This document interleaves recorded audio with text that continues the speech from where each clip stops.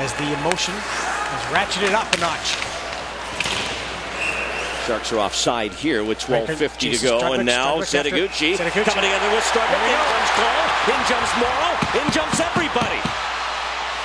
Told you, the emotion was starting to get to a boiling point. Here we go. Oh, you hate to see these big piles. These is where guys get hurt sometimes just Yeah. falling. Yeah. Ethan Moreau throwing punches underneath there. One of the Oilers is down in a heap. Semenov's there. Strudwick's at the bottom of the pile. And they get everybody separated, and we'll have penalties. We'll come back and sort it out.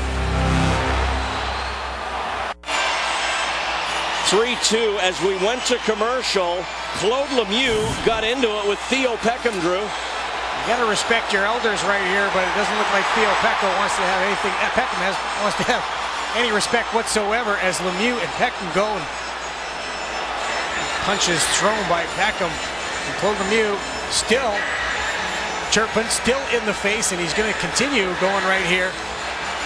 Gonna keep grabbing him right there. And so, some bad feelings. Semenov and Strudwick gets two each for the two roughing. On number 49, Theo Peckham, five minutes for fighting. Number 43, Jason Strudwick, two minutes for roughing. San Jose penalties, number 21, Alexei Semenov, two minutes for roughing. And number 32, Claude Lemieux, five minutes for fighting.